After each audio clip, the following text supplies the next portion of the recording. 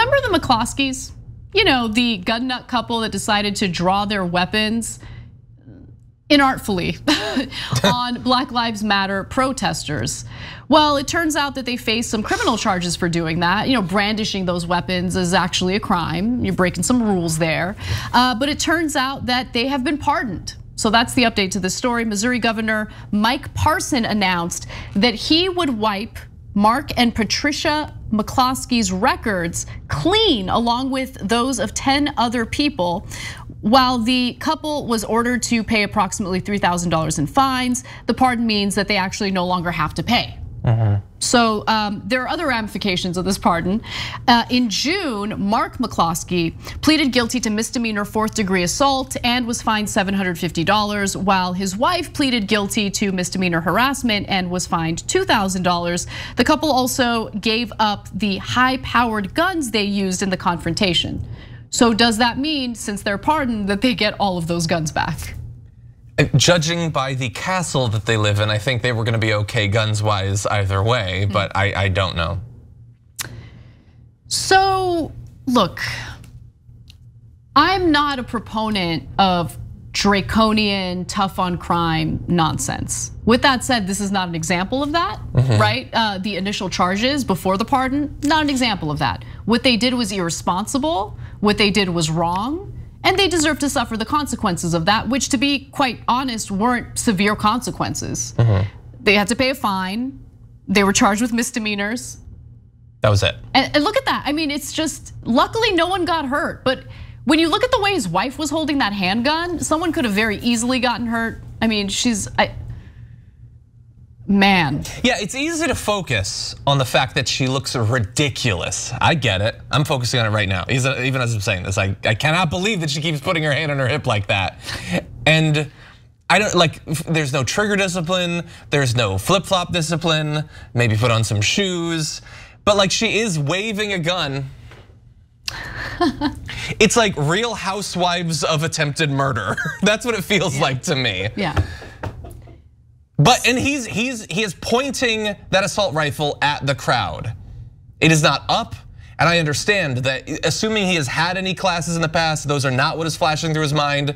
He thinks that he's going to be a pint-sized Rambo right there in his pink shirt and khakis. You know what it's though, cosplay. It's just cosplay. I think it's Antifa's fault. Probably. anyway, but it's Docker's fault. But let's uh, let's get to the part that like now I'm gonna be a downer. Mm-hmm. No, I see stuff like that, and I don't know about you guys. Like I'm actually really curious. So write in if you want to share if if you agree with me on this. I think about Tamir Rice a lot, mm-hmm. and I think about how Tamir Rice, as a 12 year old boy playing with a toy gun in a park, wasn't ever given the benefit of the doubt. No one was there to defend him. No one was there to pardon him of anything. He was shot and killed within two seconds of a cop arriving to the scene. Cop didn't ask any questions. He just opened fire and killed a 12 year old boy who was playing with a toy gun. And the people who defend the McCloskeys, a lot of them thought that the cop was totally justified in what he did. Then they turn around, they're like, yeah, the McCloskeys, totally fine. Let's let's pardon them. They're good mm-hmm. guys. Someone could have gotten killed because those are real guns, those are not toy guns. But hey, they were pointing the guns at protesters we don't like, so they should be pardoned. Okay. You know, you're totally right. It's it's one of the most egregious instances of all these. And I was thinking, he didn't do anything. He's a mm-hmm. little kid. Didn't have a gun. Wasn't hurting anyone. And I thought, uh, have you ever heard a right winger talk about that as an injustice? No, I haven't. Well, they because they they hate the government run amok, you know. And this kid was killed by the government run amok, but it doesn't bother them. And so I searched Ben Shapiro, Tamir Rice, and I found a post from 2015. Remember Tamir Rice? He's the 12 year old shot by police while going for a pellet gun in his waistband. The left and the media pointed to the situation as evidence that white police officers want to kill black boys. Only one problem two new reports say the killing was justified. Just another incident of media malpractice.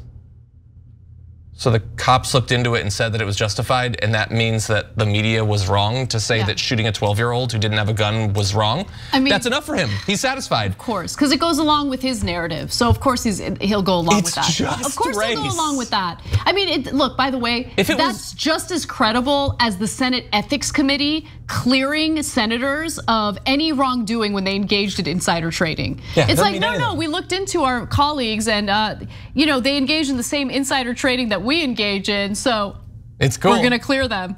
Like that's not a credible investigation. And uh, the same goes for you know what anyone has Just to say in justifying a 12-year-old getting shot and killed because he had a toy gun at a park. He got shot and killed in two seconds, no questions asked, no investigation, no questions asked. Boom, he's gone. Uh, but anyway, that, that's just that's that's what we're talking about when we talk about um, systemic racism. That's what we're talking about when we discuss a two-tier justice system. Certain people get treated differently by cops. Certain people get treated differently by our justice system. The McCloskeys uh, get a pardon by a governor, and uh, Tamir Rice gets shot and killed within two seconds. 12-year-old boy with a toy gun. It is what it is. That's the country we live in. Uh, but don't ever complain about it because you know you're just a liberal snowflake. Uh, you don't support the cops. Now, of course, right wingers don't support the cops uh, when it's inconvenient to.